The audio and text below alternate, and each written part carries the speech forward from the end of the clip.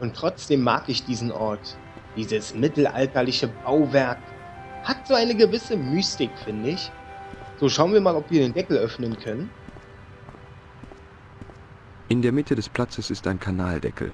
Ich frage mich, ob es unter der Straßenebene noch etwas Wichtiges zu entdecken gibt. Das kann ganz gut sein. Da schnappen wir uns doch gleich mal unser Werkzeug und schauen mal, ob wir das nicht aufmachen können. Hey, hey Sie, was haben Sie da zu suchen?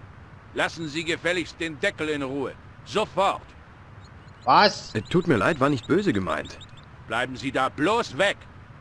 Trink du mal dein Sauvignon und, äh, ja, keine Ahnung, sauf dich unter den Tisch. Penner! Können wir noch nicht mal den Kanaldeckel öffnen? Hm, dann müssen wir wohl den Polizisten dort weglocken. So, ist es jetzt egal, wo wir hochgehen? Hier oder da? Gehen wir mal hier hoch. Oh.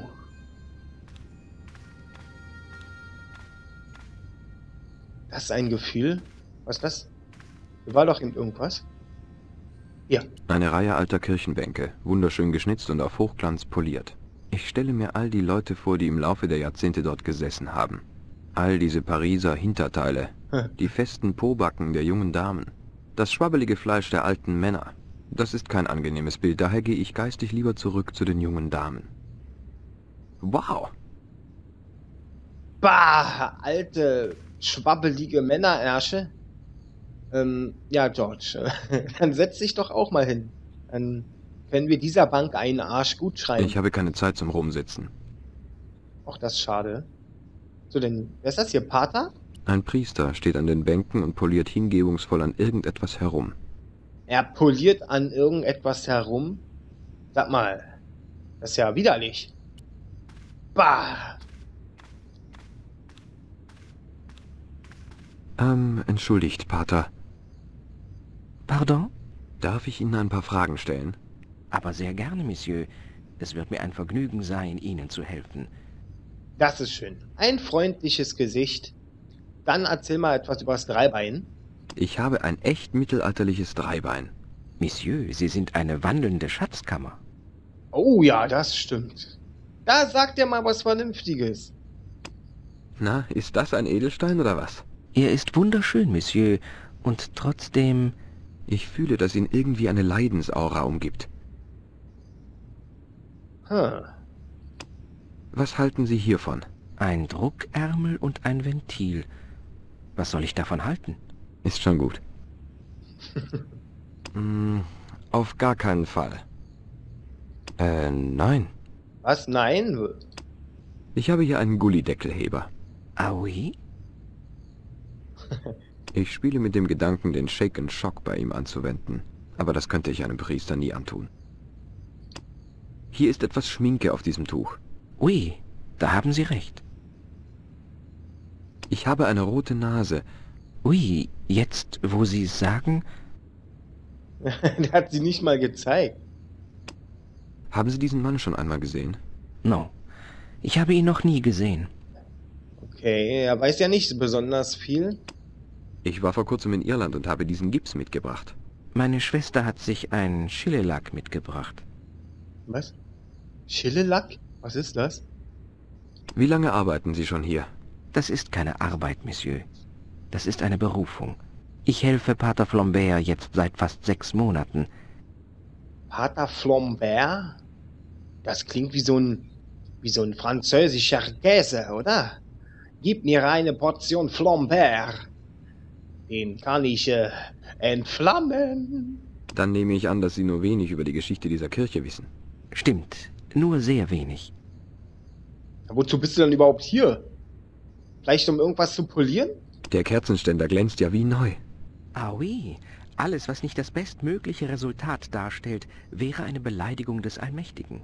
Das stimmt wohl. So habe ich das noch nie gesehen. Ach, jetzt sehe ich's erst. Der hat ja irgendwas in der Hand, einen Kerzenständer. Den hat er poliert, okay. Was wissen Sie über die Tempelritter? Wenn Sie sich dafür interessieren, sind Sie hier genau am richtigen Ort. Viele von ihnen wurden auf dem Platz draußen hingerichtet. Eine Schande für Frankreich. Aber der Papst stand doch voll dahinter. Clemens V. war ein Mann des Mammons, kein Mann Gottes. Das ist aber ein ziemlich kesser Spruch für einen Priester. Finden Sie? Es lässt sich nur so schwer feststellen, was wirklich passiert ist. Das war vor so langer Zeit. Okay. Bis später mal. Au revoir, Monsieur. Au revoir. Und polier ruhig weiter. Ähm, ja, so viel hat er uns jetzt gar nicht sagen können. Was ist das denn für eine Statue? Die Statue eines Ritters, der einen Stab und eine Schriftrolle hält. Wenn die Statue irgendwelche Geheimnisse hat, sind sie aber gut versteckt.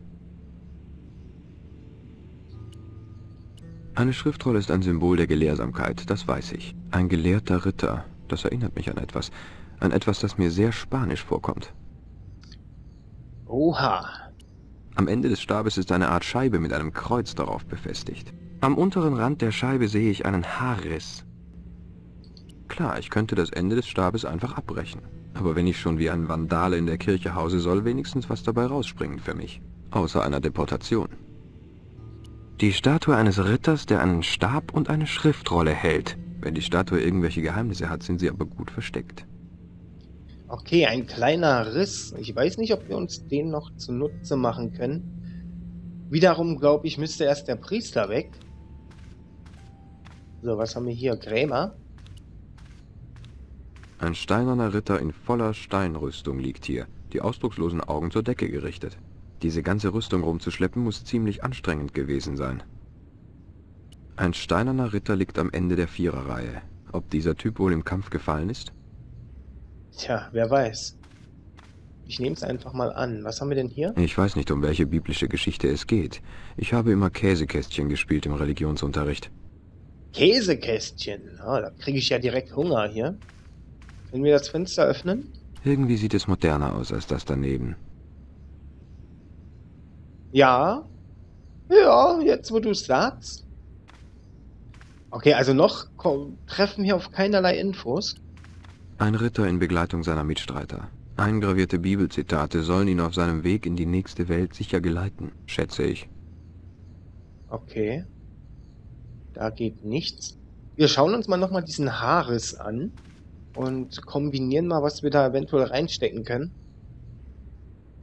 Ja, Sinn machen würde jetzt gar nichts von allen. Das Kanalwerkzeug glaube ich mal eher nicht. Hm. Am Ende des Stabes ist eine Art Scheibe mit einem Kreuz darauf befestigt. Hm. Ich probiere einfach mal. Ähm, ja, hier. Ja, das war mir schon klar. Gut, ich denke, wir, wenn da überhaupt was reingesteckt werden muss, werden wir das, denke ich, auch noch finden. So, haben wir neue Optionen bei dir, Pater? Äh, Pater... Abermals einen guten Tag, Pater. Bonjour, Monsieur. Wie schön, sich wieder mit euch zu unterhalten.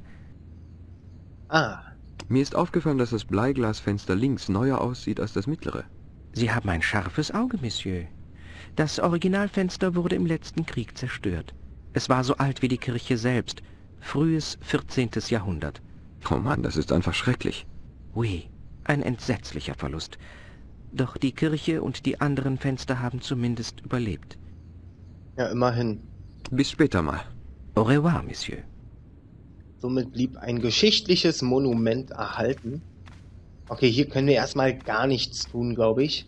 Schauen wir mal bei dem anderen Aufgang entlang. Äh, oder gucken mal, ob wir hier noch irgendwas untersuchen können. Obwohl, wir probieren mal nochmal, ob was Neues zu reden Hallo. gibt. Hallo, Monsieur.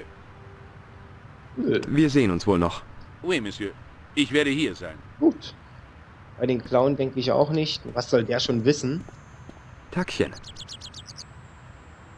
Ui, was wollen Sie diesmal? Nee, alles okay. Bis später. Au revoir, Monsieur. Okay, hier in den Hinterhof kommen wir nicht rein. Ein Kaffee können wir uns auch nicht bestellen. Dann gehen wir einfach mal hier hoch. Hä? Okay, alles klar. Wir führen also alle Wege in die Kirche. Das ist ein bisschen egoistisch, finde ich, aber so kommt man wenigstens nicht dran vorbei. Ähm, der einzige Anhaltspunkt, den wir jetzt eigentlich nur noch haben, ist dieser Kanaldeckel. Und irgendwie ist der Polizist im Weg. Moment, er sagte irgendwas mit, wenn ich die rote Nase trage, ist das irgendwie komischer, als wenn ich sie nicht trage. Moment. Moment, ich habe eine Idee. Tackchen. Oui, was wollen Sie diesmal? Äh, mich wollen noch mal äh, jonglieren, ne? Probieren, ne? Mit der Nase, ne? Ich möchte bitte nochmal versuchen, die Dinger zu jonglieren. Oh, haben Sie inzwischen einen Schnellkurs belegt? Nein, ich hatte nur eine Eingebung, was die Vorführung betrifft. Pardon? Erlauben Sie mir es Ihnen vorzuführen. Die Bälle bitte. Wenn Sie sich vollends blamieren wollen, bitte sehr, Monsieur. Okay, genau so. Okay, und jetzt zu meiner Geheimwaffe.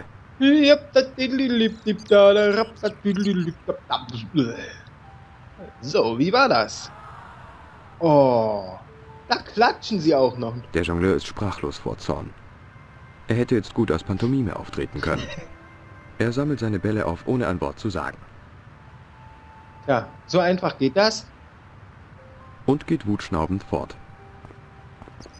Hey, du hast da was verloren. Hey, Sie haben einen von den Bällen vergessen. Hey! Aber er hört mich nicht. Noch besser, ohne sein Unterhaltungsprogramm. Langweilt sich der Gendarm dermaßen, dass er sogar zur Abwechslung mal ein bisschen Polizist spielen geht. Okay. So manche Erinnerungen kommen dann doch teilweise zurück. Gut, dann hat das ja geklappt. Das Publikum ist immer noch da. Wir geben jetzt hier keine Vorstellung mehr. Ähm, Kaffee kriegen wir sowieso nicht. Aber jetzt haben wir den Eintritt in die Katakomben gesichert. Und die Katakomben, ich weiß echt nicht, was hier unten ist. Aber wir werden es gleich sehen.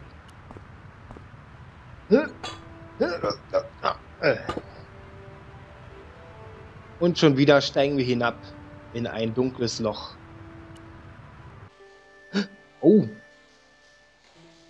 Das kommt uns doch bekannt vor. Wie in den Pariser Abwasserkanälen am Anfang. Was haben wir denn hier? Wenn ich tiefer in diese Katakomben eindringen will, dann über diesen Pfad. Wenn das diesseitige Ende nicht abgebröckelt wäre, hätte ich leicht rüberspringen können. Ja, schade, dass wir den Clown nicht bei haben. Den könnten wir da reinschmeißen und dann drüber latschen. Das wäre dann auch noch, noch so eine Art Humor. Okay, was haben wir hier? Ein komisches kleines Boot ist da festgebunden. Ich vermute, damit fahren die Wartungsmannschaften hier rum. Entweder das oder das Phantom der Oper ist irgendwo in der Nähe. Auf dem Boot befindet sich eine Winde.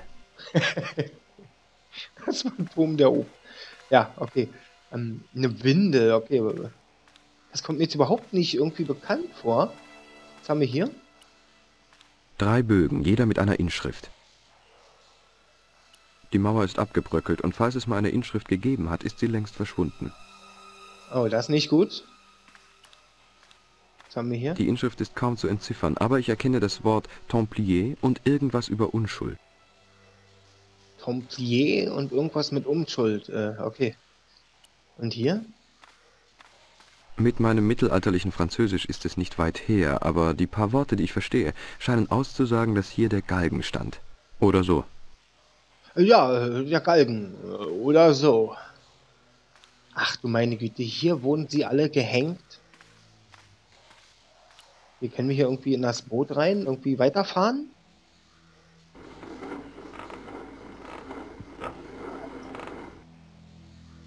Ähm, Der Haken ruht auf der Kette. der Haken ruht auf der Kette. Okay, können wir den irgendwie nehmen? Nö. Scheint nicht so. Hä? Nein, das wollte ich doch gar nicht. Georgie! Wenn wir den Haken jetzt... Nee, auch nicht. Okay, gehen wir mal hier hinten lang. Ach du meine Güte. Ist das irgendein Zeichen? Wurden die echt hier gehängt? Die Tür ist hübsch gefertigte Handarbeit.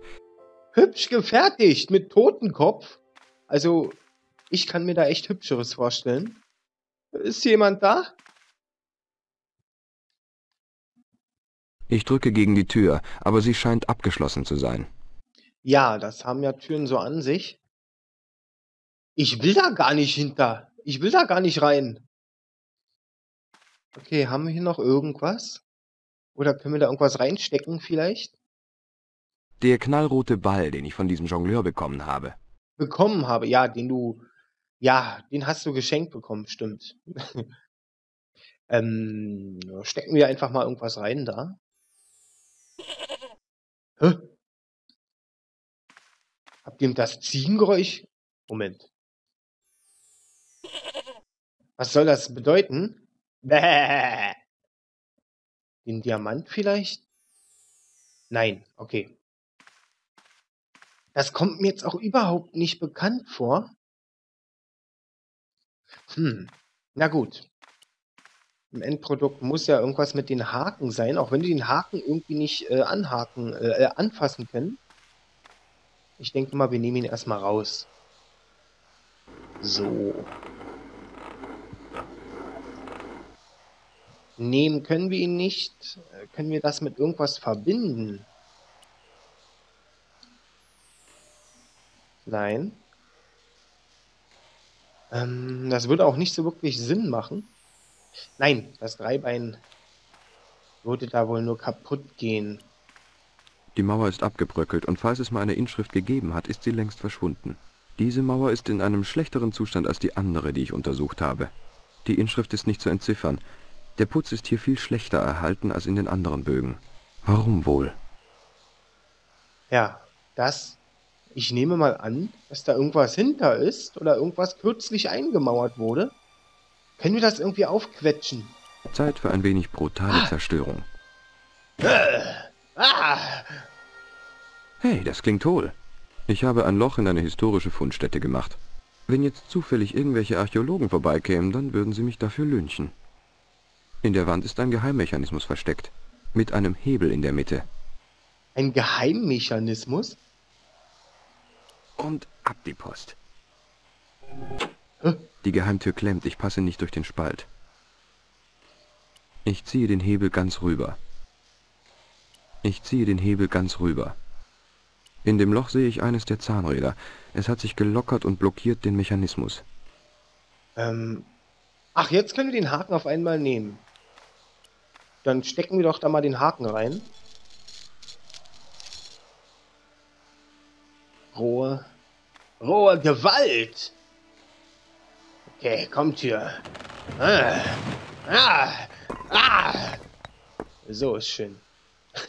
Kennt man George eigentlich so gar nicht. Aber was hilft, das hilft. Oh Mann, ich weiß gar nicht, ob ich dahinter möchte. Ich speichere mal lieber vorher. Hier irgendwo. Okay. Huh.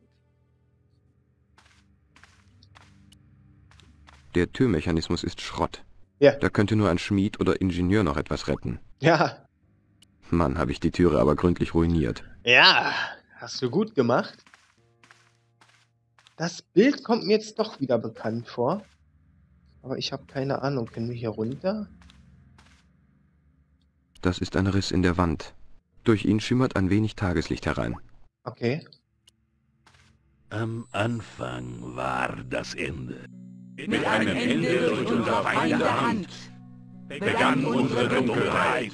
Am Ende wird der Anfang sein. Das Ende unserer Feinde wird unseren Neubeginn ankündigen. Berichtet. Das militärische Gefüge ist in Bewegung. Seit dem Ende des Kalten Krieges sind die Militärs ohne klares Feindbild, werden dafür aber selbst zur Zielscheibe für Etatkürzungen. Wir haben mit Erfolg versucht, in den oberen Rängen das Gefühl zu verbreiten, im Stich gelassen und betrogen worden zu sein. Dort herrscht jetzt die Meinung, die Politiker seien an der Ziellosigkeit schuld. Das Muster beginnt sich zu formen. Unsere Zeit ist gekommen. Gut, Mademoiselle. Die Regierungen nehmen mehr Rücksicht auf die Konzerne als auf ihre eigenen Bürger. Eine Bodenströmung von Unzufriedenheit und Widerstand wird immer stärker. Die Konzerne werden zu groß und zu komplex, als dass ihre eigenen Manager sie steuern könnten. Blindes Vertrauen in die Kräfte des freien Marktes beschleunigt diesen Trend weltweit. Das Muster beginnt sich zu formen. Unsere Zeit ist gekommen. Der Glaube der Weltbevölkerung an die Politiker, die sie regieren, war nie schwächer. Wir haben es geschafft, bei allen größeren Regierungen die Vorausschau und Planung durch Hektik und unüberlegten Aktionismus zu ersetzen. Die Parlamente handeln aufgrund übereilter Beschlüsse, die weder ausgeführt noch widerrufen werden können, ohne dass sie das Gesicht verlieren. Das Muster beginnt sich zu formen. Unsere Zeit ist gekommen. Exzellent. Die müden alten Regierungen sterben langsam an ihrer eigenen Inkompetenz und unserer dezenten Nachhilfe. Professor, wo ist das zerbrochene Schwert?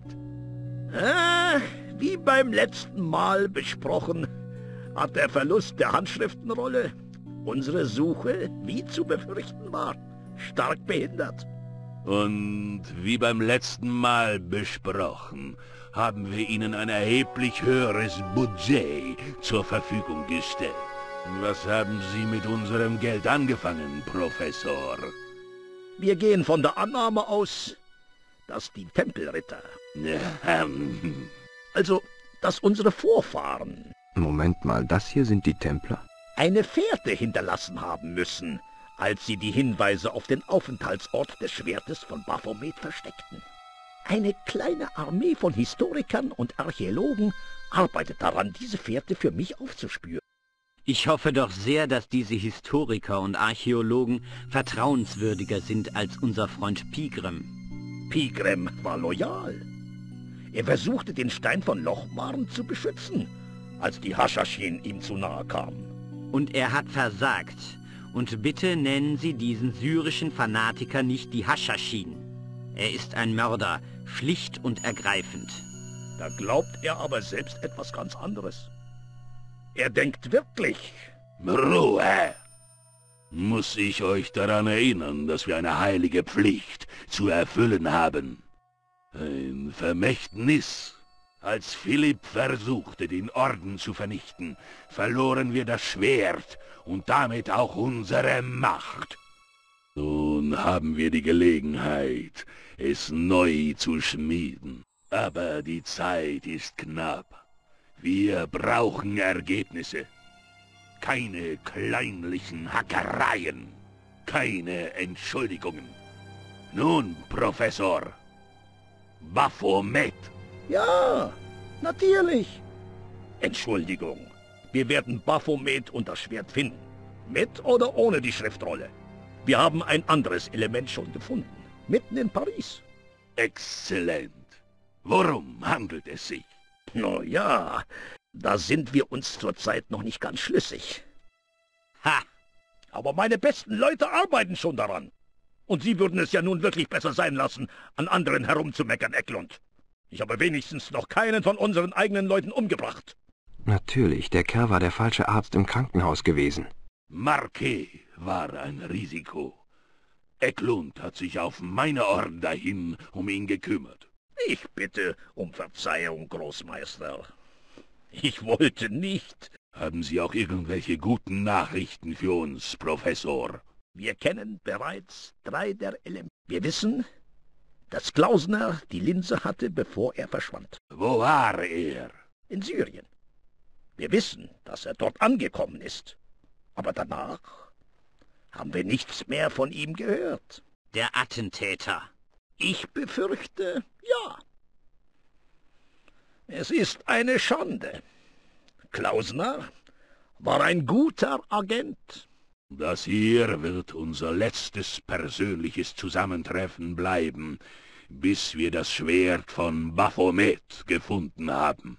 Ich muss ja hoffentlich nicht betonen, wie wichtig es für uns ist, das Schwert zu finden. Ohne es wird unsere ganze Mühe umsonst gewesen sein. Mit dem neu geschmiedeten Schwert aber haben wir die Macht, allen Widerstand hinwegzuwischen. Wenn wir uns das nächste Mal treffen, dann, um uns zu den Prinzen dieser Welt zu machen. Wow. Prinzen dieser Welt. Ha! aber nicht solange George Stobbart hier das Geschehen lenken kann. Bin über ein Treffen einflussreicher Führer aus Militär, Wirtschaft, Regierung und Bildungselite gestolpert. Habe den Akademiker wiedererkannt. Er war schon im Hotel Ubo. Er hat dort Vulkan beobachtet. Ja, Boss Großmeister. Ja, hier, also das ist echt erschreckend, was sich hier auftut, oder? Eine kleine Versammlung, die sich selbst die Tempelritter nennen und wollen hier alles wegwischen und alles radikal verändern. Aber nicht solange wir das Geschehen lenken können.